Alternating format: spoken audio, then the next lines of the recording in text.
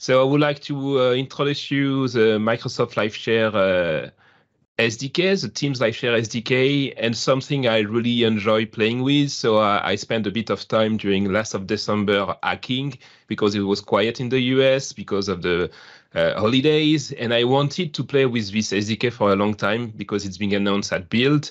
Um, so normally I'm working on the Teams toolkit. So I don't know if you're aware of this uh, extension for VS Code or Visual Studio to let you build application for Teams and also more than Teams now for Outlook and Office.com to in a very easy way. So if you've got questions, feedback, feel free to contact me also. But today, uh, let's deep dive in a little bit into uh, what you can do with um, the Team LiveShare SDK. So it's being announced at Build uh, in preview by Satya during the keynote. If it's in preview, it means that you uh, enable it. You need to uh, enable the developer mode of Teams to be to be able to have access to that. Um, what you've got in the box is something really interesting to build collaborative experience inside a meeting like this one. So I, am going to try to load the experience at the end, but it will be a test because it will only work with people having uh, the developer preview uh, mode enabled in Teams. Um, and and I've never tested on some with so much people. So before I will do some local tests with you. But what you can do is really have, have access to an infrastructure being provided by Teams, which means that it's going to be secure and compliance by default. So you don't have any backend to manage. It's going to use the Fluid framework. So if you don't know the Fluid framework, it's kind of an abstraction on top of WebSocket to do real-time communication on the web. And this is, for instance, something used in the loop component. So maybe you already use some loop component when in real time you can uh, live edit with other colleagues, you know, uh, a, a part of uh, of your component somewhere in Teams, Outlook, or uh, anywhere. So it's using Socket for that. So it's it's using this Fluid framework and add another abstraction layer dedicated for Teams. So it means that you will have access to uh, the context of Teams, for instance, and it's very low friction development because I'm not a huge backend developer. I I, I prefer spending my time on on on the front end, um, and I've been writing, you know, a 3D engine in the past named Babylon JS. That's why I, I'm a huge lover of front end development. And this was a perfect fit for me. Like the LiveShare SDK was taking care of the backend, the socket, the secure and compliant stuff is going to be scalable. And I just have to focus on the client uh, code. So it also provides other type of uh, service. Like you can see in the screenshot, you have like uh, kind of a surface, a specific canvas to, to draw on it in a collaborative way, like you can see on the screenshot with a picture of the various uh, uh, people participating to that. So this is what you've got in a nutshell for um, LiveShare SDK is really a SDK for you working on the client side, but it's going to take care of all the complexity of the backend to get the, the states uh, syn synchronized. So it's low friction dev because you have a SDK either for uh, JavaScript or, or, TypeScript. It's very fast to be integrated. The, the solution I'm going to demonstrate you, I uh, was able to build it in two, three days, and mainly it was because I was discovering the platform, reading the doc, reading the samples, trying to understand really how it was working. The great news is once again, the backend is managed by Teams, and by default, you have access to a free Azure Fluid uh, uh, relay uh, when it, you're running inside Teams. Uh, and then you have a local browser testing, which is super convenient. We're going to see that together when you're spending your time uh, testing on your local machine. So explain what it does, but before that, I'm going to start the experience to explain you what I had in mind uh, using this uh, specific new SDK. Uh, once again, using sockets in a way for, doing uh, real-time uh, communication. So you see that it's going to open the, my browser. So it's going to now uh, load a 3D scene, which is using Babylon.js, which is the and then 3D engine I've been co-writing with a friend of mine, and now is being the official 3D engine of Microsoft. I can move inside the, the scene, as you can see. And now I can, uh, for instance, load another session to simulate another user. And I'm going to uh, split that in two. And you see that now um, I've, I'm, I'm, able to see the update position of my uh, new user. Uh, I've got a fake name and a fake uh, avatar on top of it. and I can move where I want inside the apartment. Uh, and on the other side, I can follow my friend. And you see, I, we're going to be in a Teams meeting, so we're going to be able to discuss, and I will be able to see, for instance, that Rockmain 31 is looking at a specific part of the kitchen. So maybe if I'm like the reseller of, uh, of an apart of this apartment, I can ask to my customer, are you currently looking at this part of the kitchen? Do you have specific question? Are you worried about that? And you see, you can already have this kind of collaboration uh, experience together. Um, we are also I'm also supporting um, various type of things. So if I'm changing, for instance, the um, the the scene from this apartment to a museum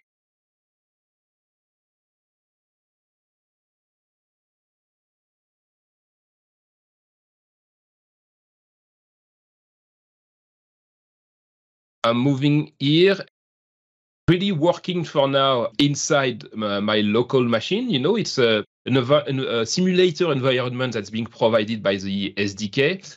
And of course, if I like now to put that inside Teams, I need to package that as a Teams app. So if you don't know uh, how it works, a Teams app is a web app, but with a specific manifest. In this manifest, you're going to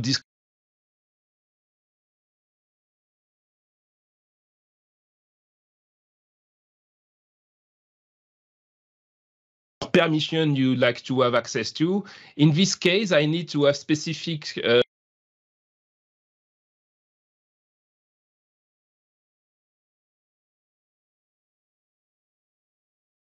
Um, before trying at, at, the, at, the, end of this session the experience in this uh, current uh, meeting, uh, I've deployed it on my own tenant, so it should be uh, visible um, there. So I'm going to close this one. So I'm currently using my uh, dev tenant. So it's like Teams inside Teams, like it's uh, meta Teams, which uh, is uh, right in, into the topic of this metaverse. And you see that I have this um, new button. So the way to uh, install it is to go to Manage App, upload my custom package, and then I have this new metaverse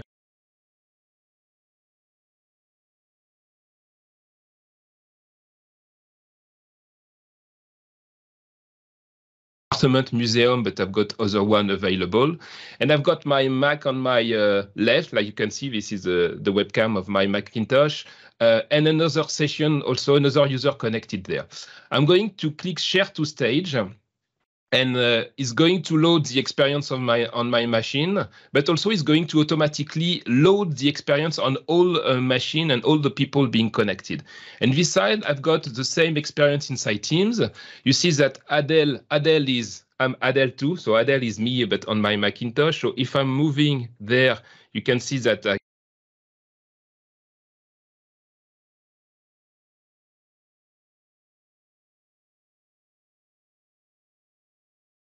user. So I've tested on five or six users. It's working well because it's using low latency network um, and available directly inside uh, inside Teams. And I've got various uh, scenes available. For instance, I've got this one that can be fun to to test.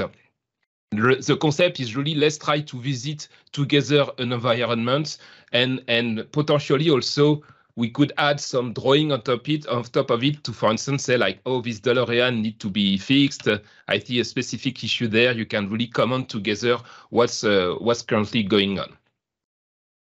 So let's go into the source code now to understand how it works.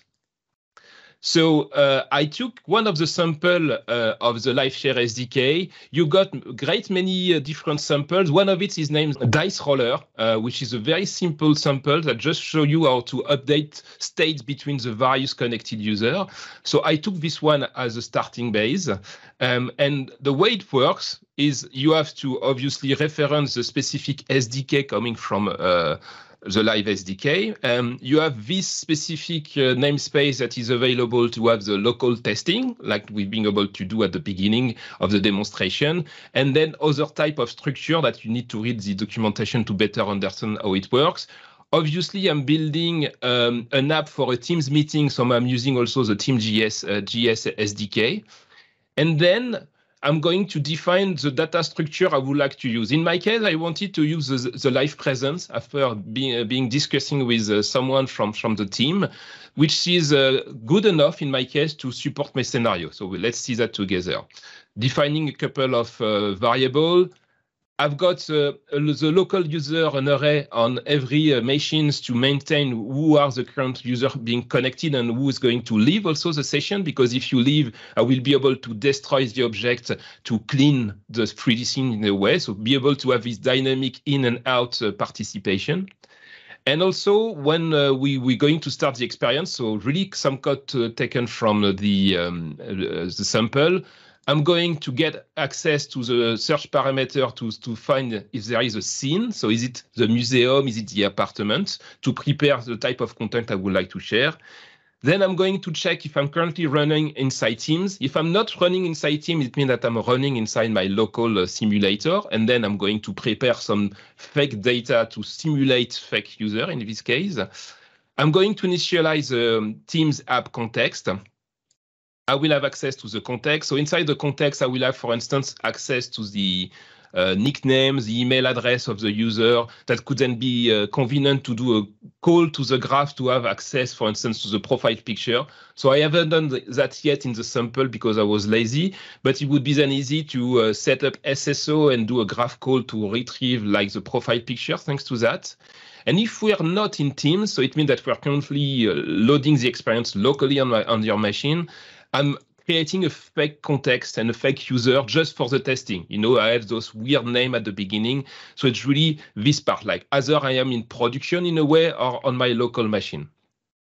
Same here, I'm using uh, one of the functions that was provided by um, by the poker sample, the agile poker, uh, poker sample to create random names. So I just took this JavaScript that's going to generate random number, random name, uh, and a render picture in my case.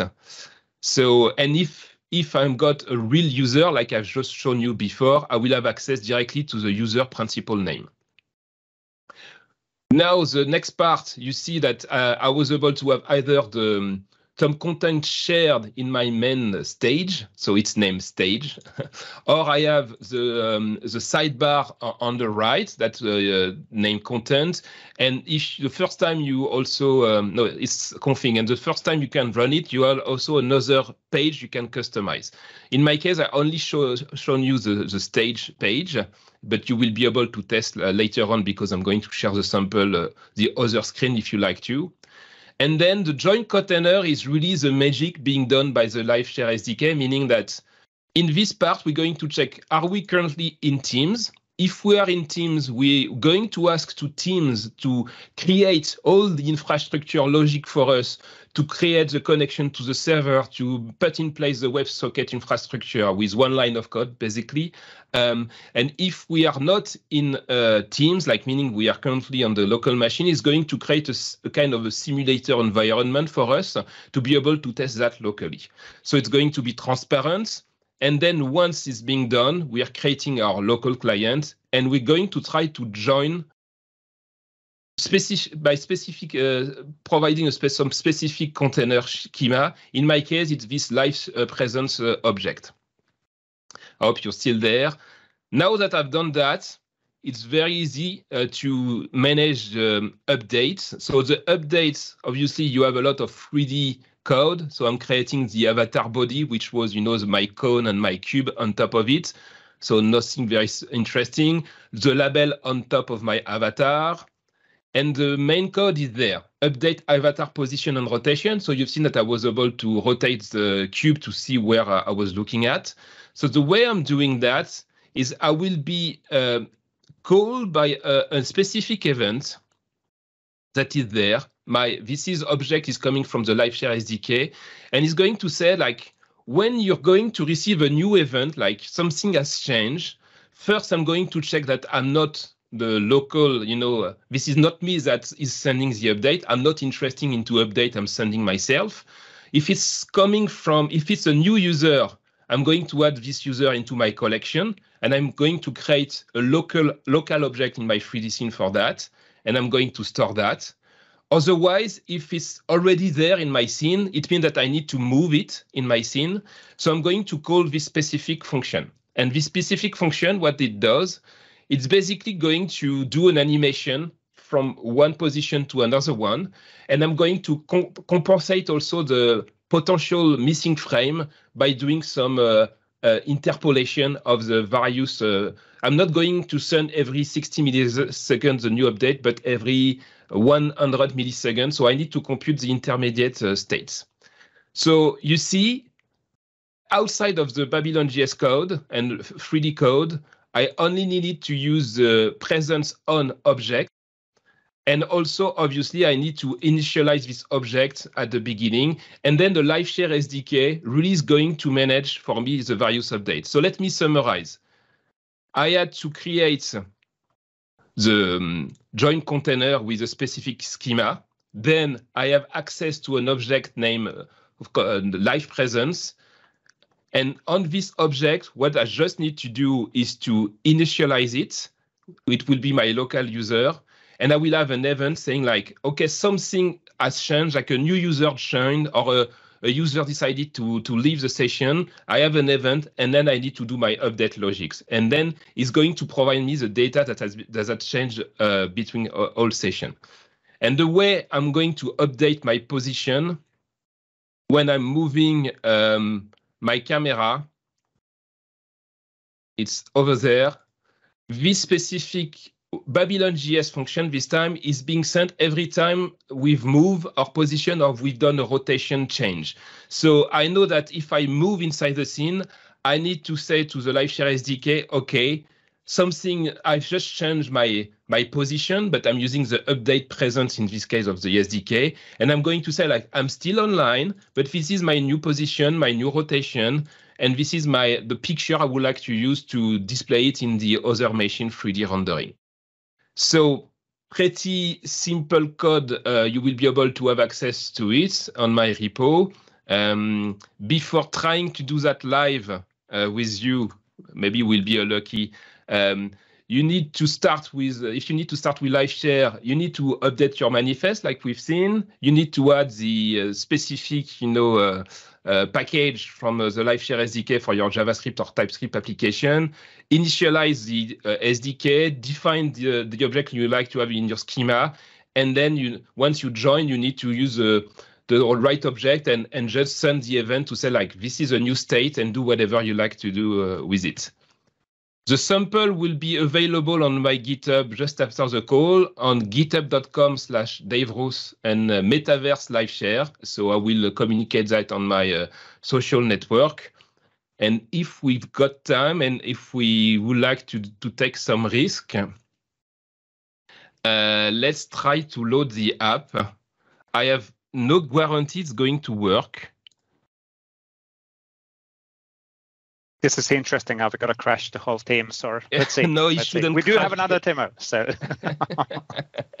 it shouldn't crash. But um, you see that I'm going to add the the application uh, in these uh, teams. So you see, normally you should see an, a new icon being available there. And if some of you got the Teams uh, developer preview enabled, uh, you should be able to see um, something being shared uh, on your um, on your screen. So first a black screen, and then you should see the Babylon JS logo. Um, so if you can share in the chat how many people have something loading. Oh, I see a couple of people loading. I never tried on, on with so many people. So the way to move inside is with the mouse and the arrow keys. So I see a bunch of people connecting, and now I can see your uh, update position, and it stopped.